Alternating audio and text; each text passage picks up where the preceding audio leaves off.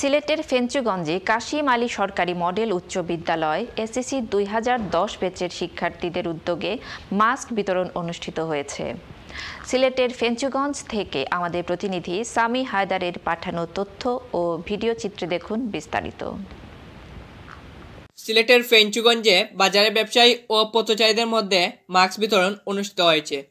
রবিবার বাইশ নভেম্বর সকালে উপজেলার শত প্রাচীনতম বিদ্যাপীঠ কাসিম আলী সরকারি মডেল উচ্চ বিদ্যালয়ের এসএসসি দুই হাজার দশ ব্যাচের শিক্ষার্থীদের উদ্যোগে এ মাস্ক বিতরণ অনুষ্ঠিত হয়।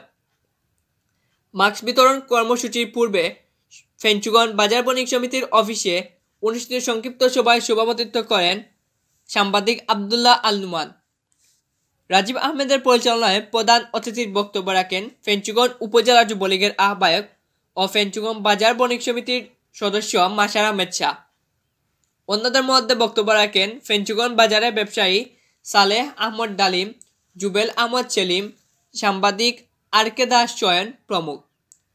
এ সময় অন্যদের মধ্যে উপস্থিত ছিলেন ফেঞ্চুগঞ্জ বাজারের ব্যবসায়ী চম্পু দত্ত, যুবরাজ হোসেন জানু, মানিক মিয়া, আব্দুল আহাদ, কাসিম আলী সরকারি মডেল উচ্চ বিদ্যালয়ের দুই হাজার দশ পেচের শিক্ষার্থী আফজাল আহমদ, জায়দুল ইসলাম, পাবেল আহমদ, সাইফুল ইসলাম পাপ্পু পিকলু দাস, রাজিবুল ইসলাম প্রমুখ।